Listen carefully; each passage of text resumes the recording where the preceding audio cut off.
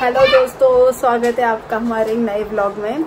और जैसा कि आज आप लोगों को पता है कि आज उत्तराखंड का लोक पर्व फूल दही छम्मा दही है तो आप सभी को फूल दही छम्मा दही की बहुत बहुत शुभकामनाएँ। और आज हम इसको सेलिब्रेट करने जा रहे हैं, बच्चे रेडी हो रहे हैं। आप देखिए, थोड़ी देर में आपसे मिलते हैं। फूल दई, छम्मा दई, दैणी द्वार भर भकार, यो देई को बारम्बार नमस्कार।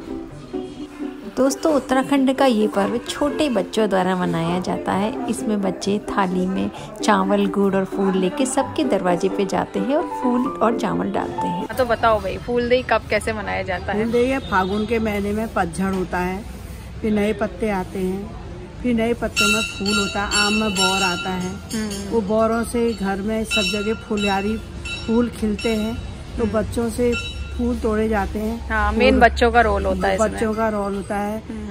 ये फूल बीन के लाते हैं बच्चे और फूलों के साथ भी चावल जो हमारे लक्ष्मी का रूप होता है बच्चे चावल फूल घर के अंदर डालते हैं इसमें लक्ष्मी का वास होता है हम्म। और उसी चावलों से हम लोग बच्चे जो चावल गुड़ चना दे। गुड़ चावल देते हैं लोग उसका हम फिर शाम को साई दूसरे दिन प्रसाद बनाते हैं उसको साई कहते हैं। सही कहते हैं। और उसको पीसा जाता है मिक्स भिगो के मिक्सी में पीसा जाता है पीस के। हम्म। फिर उसमें गुड़ और घी से पकाया जाता है फिर आखिरी में उसमें गुड़ डाला जाता है फिर प्रसाद के रूप में सब उसको बांटा जाता है। हम्म।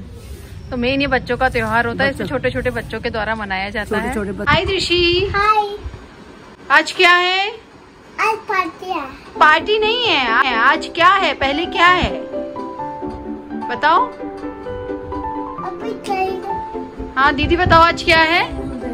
क्या है दृषि फूल दही फूल दही तो फूल दही में क्या करते हैं हर्षी? हम लोग घर के दरवाजे में हम्म, वहाँ पे फूल और चावल डालेंगे फूल और चावल डालते हैं? हाँ। क्यों डालते हैं फूल और चावल? घर में खाने कभी कोई कमी ना हो। घर के अन्न, भंडार में कभी भी कोई भी कमी ना हो। इसलिए है ना दृषि तो आप डालोगी? आप रेडी हो?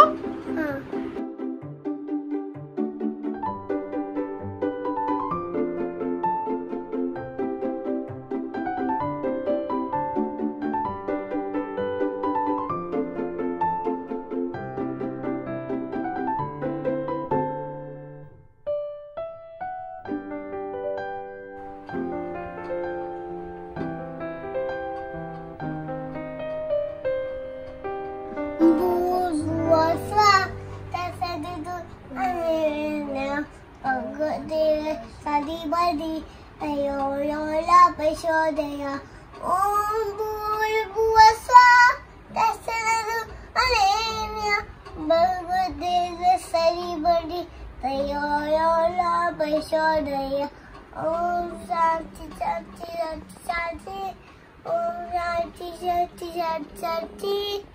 Om Shanti Shanti.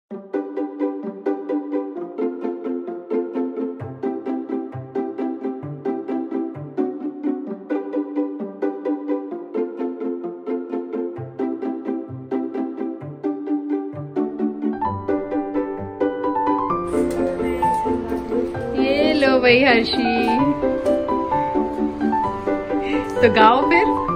फूल दे छम्मा दे आगे।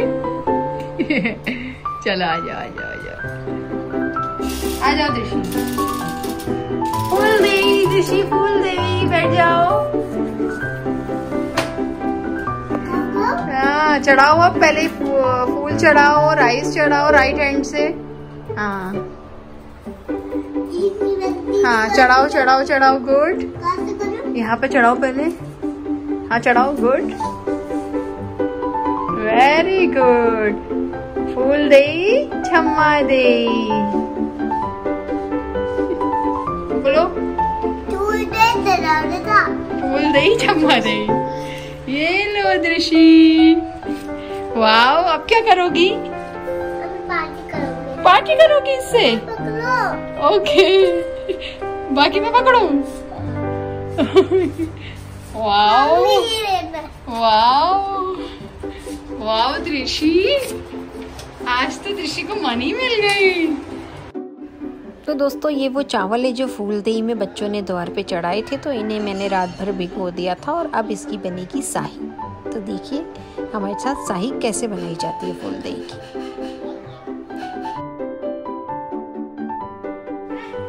शाही को एक तरीके से हम चावल का हलवा भी कह सकते हैं, जो गुड़ के साथ पकाया जाता है।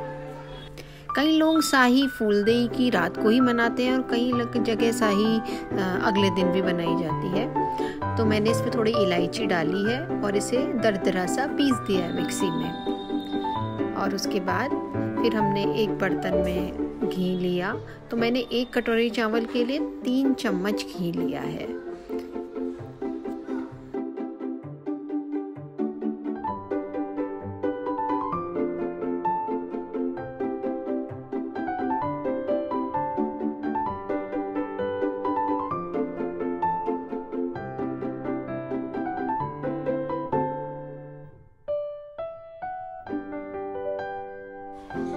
अब जब घी गर्म हो जाता है तो फिर हम इसमें वो भीगे हुए चावल का जो पेस्ट होता है, उसको मिलाते हैं और उसको धीरे धीरे धीरे धीरे हल्का सा ब्राउन होने तक पकाते हैं, जिससे चावल अच्छे से इसमें पक जाए।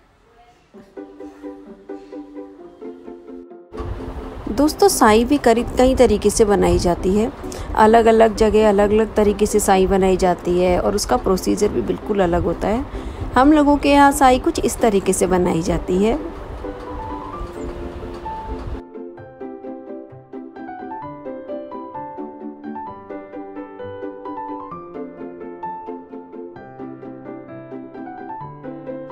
अब इसको हल्का हल्का ऐसे भूनते रहे। जब तक ये थोड़ा ब्राउन हो जाए, तब तक हमने एक तरफ़ गुड़ को ग्रेटर में अच्छे से ग्रेट कर लिया है। ग्रेट करने से गुड़ के लम्स वगैरह, डेली वगैरह नहीं बनते हैं, बहुत अच्छे से साई में मिक्स हो जाता है।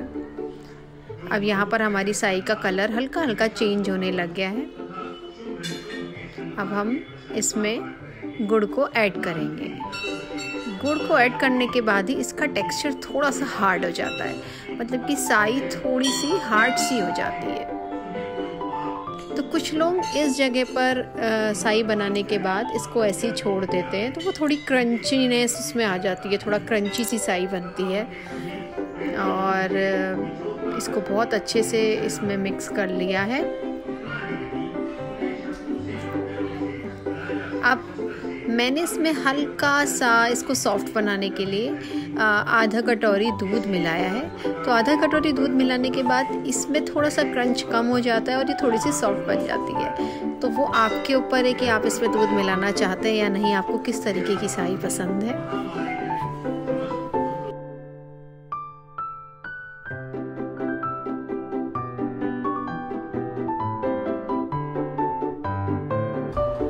दोस्तों, इसे अब तब तक पकाते रहेंगे जब तक ये पूरी तरीके से घी ना छोड़ दे। जैसे ये घी छोड़ देगा तो ये सूखा सूखा सा हलवा टाइप का बन जाएगा।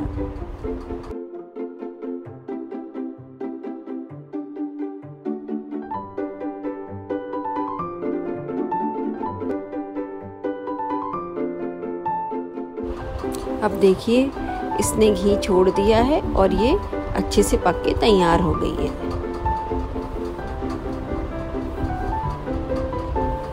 अब इसको हम एक अलग बर्तन में निकाल लेते हैं और हमारी फूल दही की साई बनकर रेडी है। ये देखिए कितना अच्छा टेक्सचर आया है इसका।